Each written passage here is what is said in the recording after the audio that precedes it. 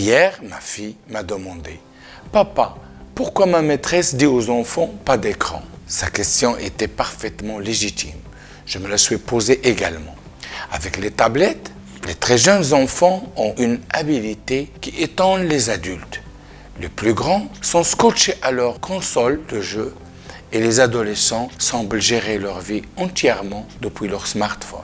De nombreux parents sont désorientés. À quel âge offrir à son enfant sa première console, son premier téléphone? Combien d'heures d'écran par jour?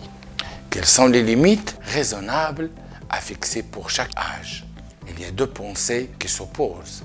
Pour les technophobes, les écrans seraient responsables d'une chute des performances scolaires, responsables de désintérêt scolaire, d'isolement social et pire encore. En face, pour les technophiles, il faudrait d'urgence installer des ordinateurs dans les écoles maternelles, offrir une tablette tactile à chaque enfant dans le primaire et apprendre la programmation le plus tôt possible.